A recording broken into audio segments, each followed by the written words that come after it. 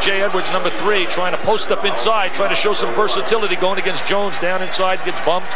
They go to the foul line so often, much more than their opponents, and it's amazing. That's a lot of patience on offense and getting the ball into high percentage areas. Edwards low to Jadlow. McCants on him. Jadlow's been an up and down player. He's been a Dow Joneser.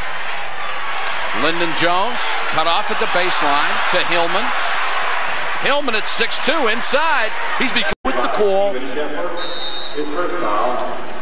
Indiana's fighting fire with fire. They're saying we know they're supposed to be a power baseline team, but we're going to attack them. We're going to go right inside at them. Coming into the ball game for the first time, Mark Robertson, a senior from Ventura, California. And Hillman will go out for a breather. Robinson gives him a little bit more quickness, a good athlete. Give a little rest to Hillman.